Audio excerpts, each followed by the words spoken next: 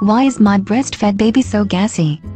It is not like he's drinking the soy-based formula that leaves a lot of kids gassy or just with really stinky poops.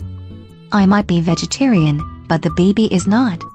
Well, what is a baby who drinks breast milk? There's an old bumper sticker that said if vegetarians eat vegetables, I'm a humanitarian. Since baby's taken a lot of compounds from your breast milk, it is possible he's reacting to something in the breast milk. I know a kid can get sick from drugs in the milk. I don't think he can get gas from the beans I eat. He might be lactose intolerant. I'm not a cow. Humans naturally lose their ability to digest milk around age 2.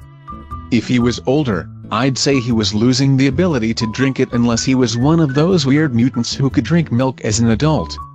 That's not a mutation, it's common. Blue eyes are a mutation too.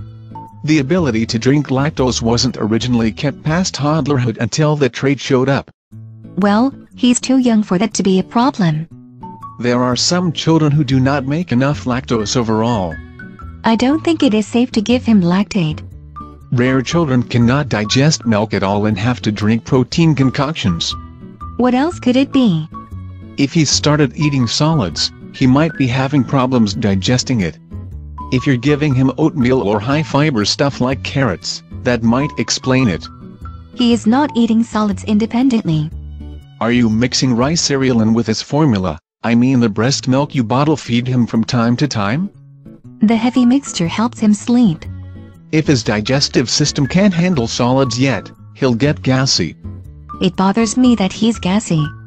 Then again, he might be eating grass or bugs as he crawls around, and that's why he's gassy.